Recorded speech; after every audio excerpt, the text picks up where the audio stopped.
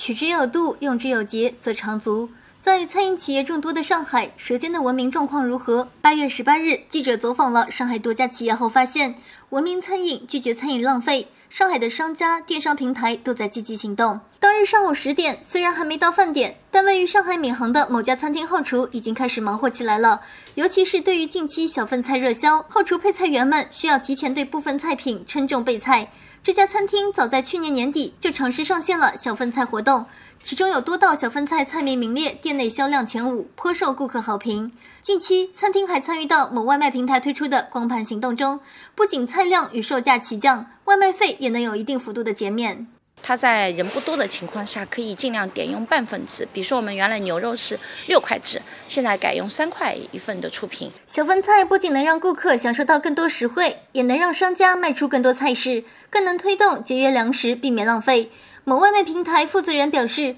在该外卖平台上线小份菜的商家已超过六十万家，在小份菜的带动下，这些商户的订单量增长也都超过了五成。近日，上海某生鲜电商也推出了一顿吃光系列产品，减少食材浪费。在推出一个月以来，在上海该系列的销售量单日已突破五千份，成为平台销量成长最快的品类之一。该生鲜电商相关负责人赵文涛介绍，目前正在加紧开发一顿吃光系列的更多新品，未来在蔬菜单品类组合的基础上，会推出跨品类的组合，例如蔬菜肉类组合、水果小份组合。根据用户的一个购买喜好，组合出用户经经常购买的一些食材搭配组合，比如地三鲜组合，里面我们会放一呃一个土豆、一根茄子以及两个青椒，就完全可以满足用户对于一盘菜的一个基本食材需求。据悉，自2014年以来，上海市餐饮烹饪行业协会就积极推进上海餐饮业创建绿色餐厅活动，